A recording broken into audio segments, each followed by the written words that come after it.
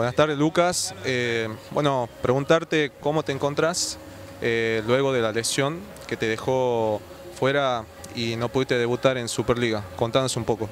Hola, buenas tardes. Bueno, estoy bien, eh, la verdad que estoy muy bien, me siento bien, la rodilla está estable, de la cabeza sobre todo también estoy muy bien, entonces ya en la cuenta regresiva para ver si, si me puedo incorporar con el resto de los compañeros.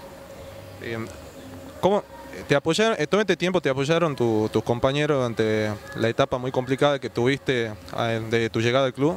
Sí, sí, sin lugar a dudas siempre lo remarqué, tanto mis compañeros como los dirigentes que de un primer momento se hicieron cargo de, todo, la verdad que fue una preocupación menos y la verdad que a uno eso lo hizo sentir muy bien y, me dio mucha fuerza para, afrontar eh, estos seis, siete meses que, que sabía que iban a ser muy duros.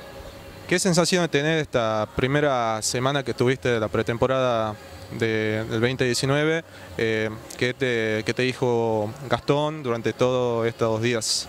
La verdad que una sensación hermosa porque me volví a poner los botines después de cinco meses y medio y, la verdad que ese día eh, fue un día muy importante para mí. Eh, así que voy a estar siempre agradecido a, a Damián, a Nacho, a los médicos que, la verdad que están haciendo un, trabajo para conmigo excelente, eh, así que solo quedan palabras de agradecimiento para ellos y bueno, eh, con Gastón no hablé, digamos así personalmente, pero sí nos cruzamos en la práctica y, me da su palabra de aliento, tanto él como, como los demás miembros del cuerpo técnico, así que bueno, eso también está bueno para uno. Pensando en lo que se viene, los próximos compromisos, amistoso de verano de por medio y el reinicio de la Superliga contra Tigre el 26 de enero en, Victoria, eh, ¿cuáles, ¿cuáles son tus expectativas y, cuáles pensás que son las claves para obtener el primer triunfo de este año? Digamos? Yo pienso que, bueno, que hay que ir eh, día a día, estamos trabajando muy duro, muy bien. Eh, estamos con un sistema de juego que al principio cuando llegaron ellos lo, implementaron, eh, ahora lo estamos volviendo a hacer.